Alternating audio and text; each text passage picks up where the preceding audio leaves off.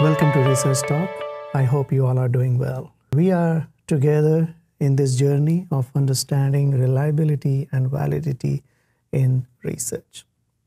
If you remember in our previous videos, we talked about what is reliability. Now we will learn what is validity in research. As you know, reliability in research is about consistency of a measurement tool.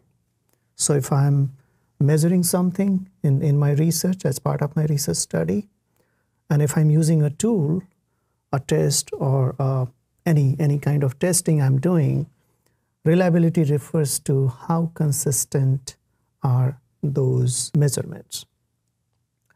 When it comes to validity, validity refers to how accurate, how truthful are the claims or the conclusions that a study is making. So every study has certain conclusions. So the question is how accurate, how truthful are those conclusions? So that's what validity refers to. In other words, it's it refers to the extent to which a test or research, whatever it claims, how truthful is that claim? If there is a test, so let's understand it in two contexts. In the context of a test or instrument which is being used for measuring uh, a research construct, here the validity refers to does it really measure what it claims to measure?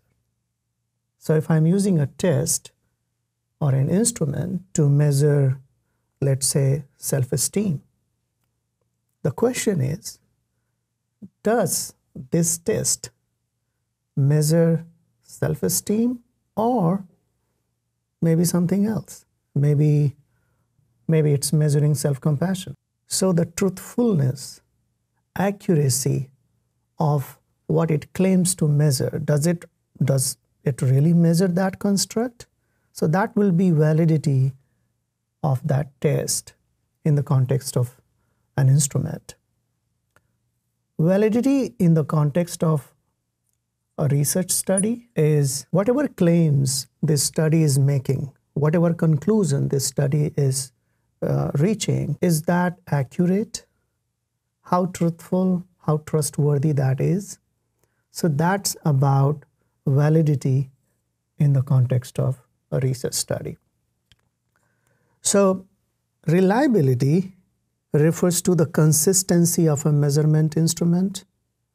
Validity refers to the, the actual claim, the construct that this test is measuring, or the actual claims, conclusions that a study is making, how accurate those claims are.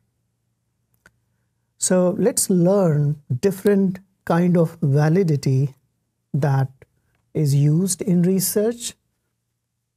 Uh, and there are multiple types of validities. In this video, I'm going to talk about a validity called content validity.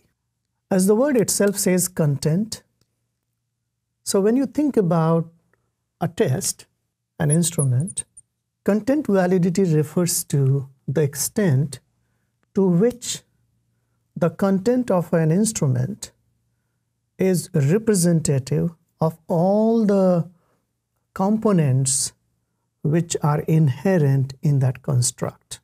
Let's understand this with an example. Let's say there is a test which claims that it measures level of compassion.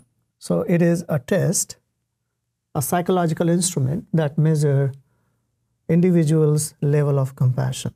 Now, content validity for this test would refer to the extent to which the items in this scale are representative of the overall components, different components of this construct, which is compassion. So at theoretical level, and let's say this scale has 30 items, Likert based items. So at theoretical level, compassion include sensitivity to others' suffering and desire to alleviate suffering. So this is at, at a theoretical level how compassion is defined. Compassion refers to an individual's sensitivity to other suffering and desire to alleviate suffering. And let's say compassion also refers to ability to understand others' suffering. Now, content validity would refer to all these 30 items which this test has. Do they cover all the components of the theory uh, or the definition or the operational definition of compassion?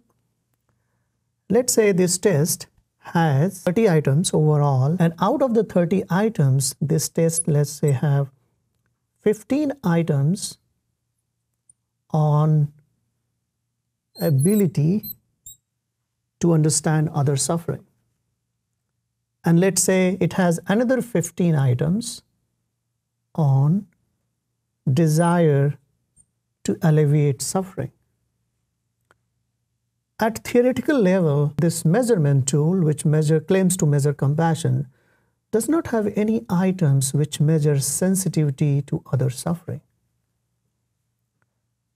So we could say that the content validity of this measurement tool is low because it does not include items from one particular domain which represents compassion.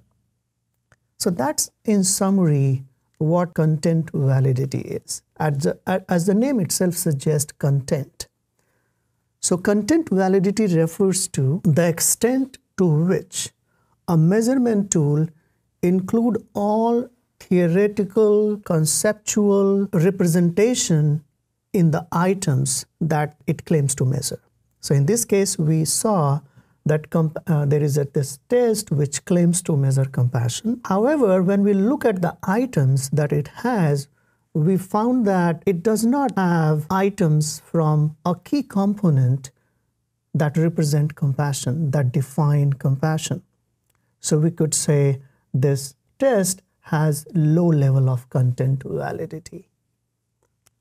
And to rectify that, what would I do? I would change this test and maybe let's say add another 15 items from this component which is sensitivity to other suffering. So when a test is developed, as a researcher, I, I, I, want to make sure that the items which I'm including in my test, they represent all the components, all the theoretical pieces of the construct that it claims to measure. So that's briefly about content validity. I will see you again in another video talking about another type of validity. Till then, have a good day. See you again.